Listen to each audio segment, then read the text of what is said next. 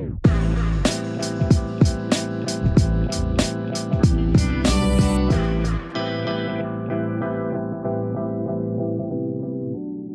folks. Thanks for tuning into this week's Stacker Chat. Stacks is smart contracts for Bitcoin, and I'm joined by Muneeb Ali, Stacks founder, with your regular updates.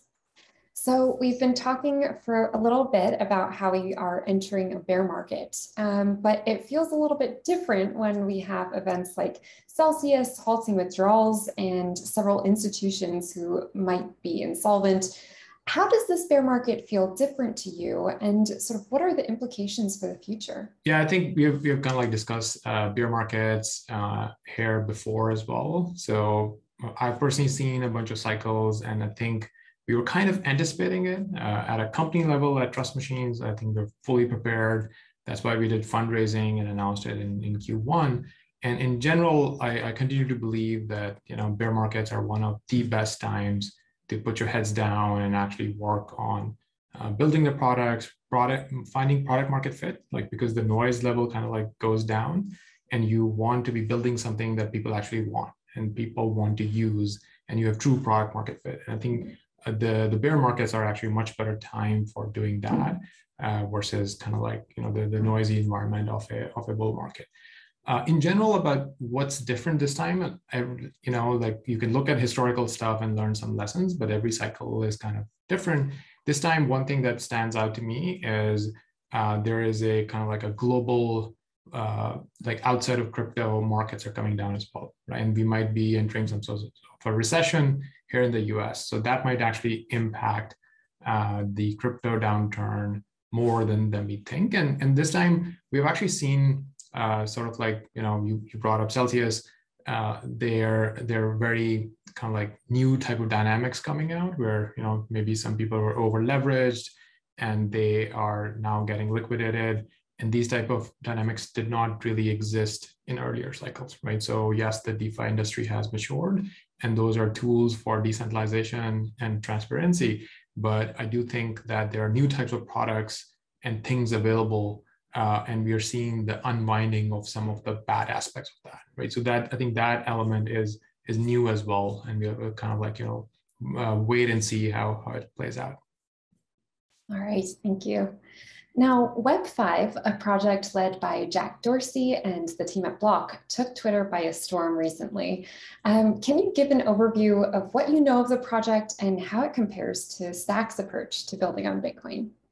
Yeah, so I think first of all, um, I'm I'm really excited and glad to see that happen, right? Because uh, the more builders there are, in the Bitcoin ecosystem and the more kind of like experiments there are, it's almost like an idea maze, right? Like different people are trying out different versions uh, of, of, of, designs and architectures. And it's great to basically like as, as a collective, uh, think about, you know, how we can collaborate more with each, each other. How can we kind of like just grow the Bitcoin builders community? Because to me, um, the bigger thing over here is if we are being honest, the entire kind of like community of developers in the broader Bitcoin ecosystem is a lot smaller than what's happening outside of Bitcoin.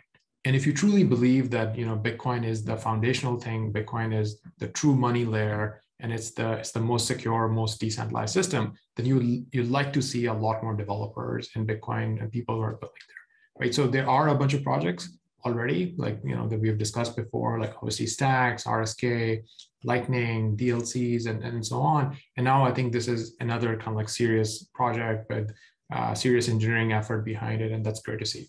So in terms of kind of like the technical design and differences, uh, we've actually spent a bunch of time, like I personally spent a bunch of time uh, working on uh, these types of architectures, right? So these are actually not blockchain solutions. Like they, um, the use of blockchains is very, very minimal in these types of designs. So Web5 and and and the people behind it kind of like admitted that uh, it is it is they're standing on the shoulder of giants in their own world in their own words right? Like because they are repackaging a lot of existing projects and ideas over the last five six years. Um, most importantly there has been work around decentralized identifiers or dids right? Um, i was actually part of the decentralized identity foundation helped um, almost like started uh, with two other people in late 2016, early 2017. So I've actually spent a fair amount of time in, in, in that world before. And Web5 is kind of like trying to revive those types of projects, which are saying that, hey, we don't want to do anything on, on blockchain. So there are no smart contracts. There are no kind of like programming functionality uh, for, from a smart contract perspective uh, for, for developers. And you're just registering some sort of a hash, right? Like it's the, you can think of the uh, DID as like a some sort of a hash that's registered at a blockchain level, and then people can use that to discover usernames. And most of the data uh, and processing happens on someone's local computer or a node that you own. So it's more like a peer-to-peer design. Uh, you're kind of like going back to the era even before Bitcoin, right? Like when there were more peer-to-peer systems like BitTorrent and LimeWire and things like that, and you're trying to add some sort of a data storage and, and, and computing ability uh, to these nodes. So it's a very, very kind of like interesting uh, area in general. Um, my kind of like the reason why I stopped pursuing some of those designed and am fully dedicated to building smart contracts around Bitcoin is that from what I've seen is that these types of projects uh, have historically not been able to get a lot of developer uh, traction right? So some developers get interested in it, they build some things.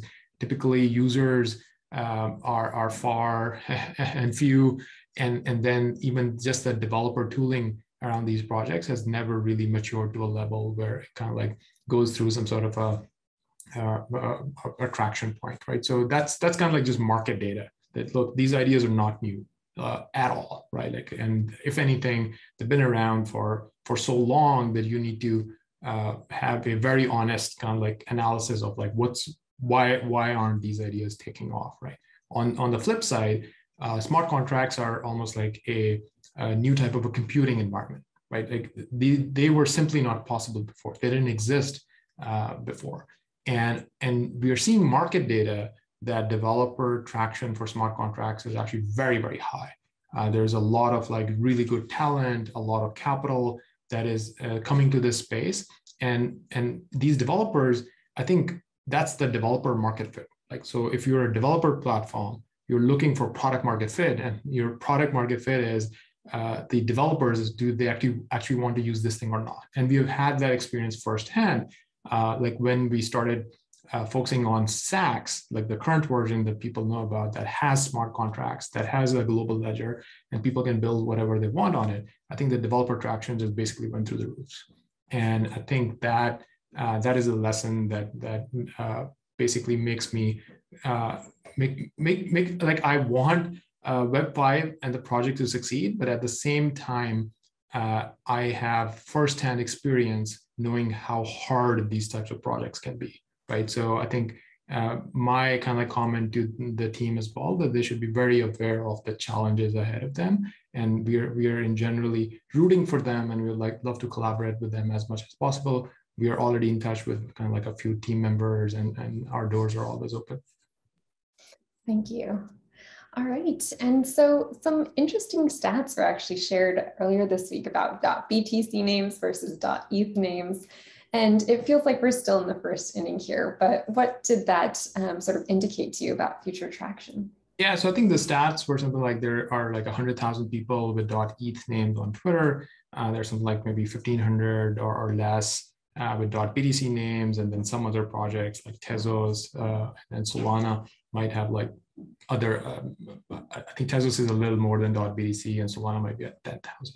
So at a high level, the biggest lesson for me is like, look, the crypto community is so, so small, right? Like you're talking about less than 200,000 people in total, right?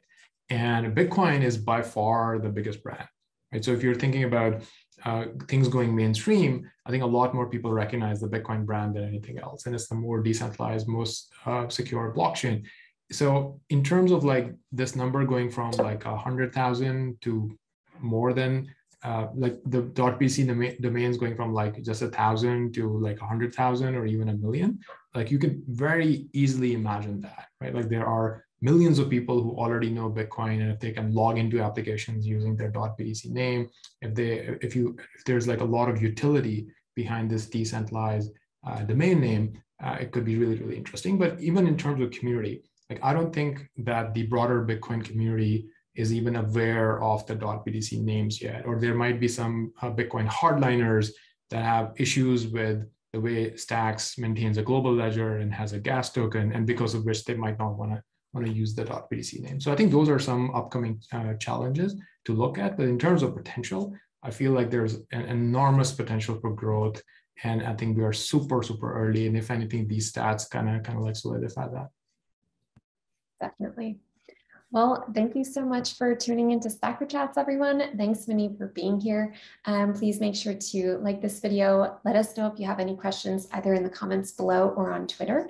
Um, and make sure that you're subscribed for more content like this. Thank you so much. We'll see you soon. Thank you.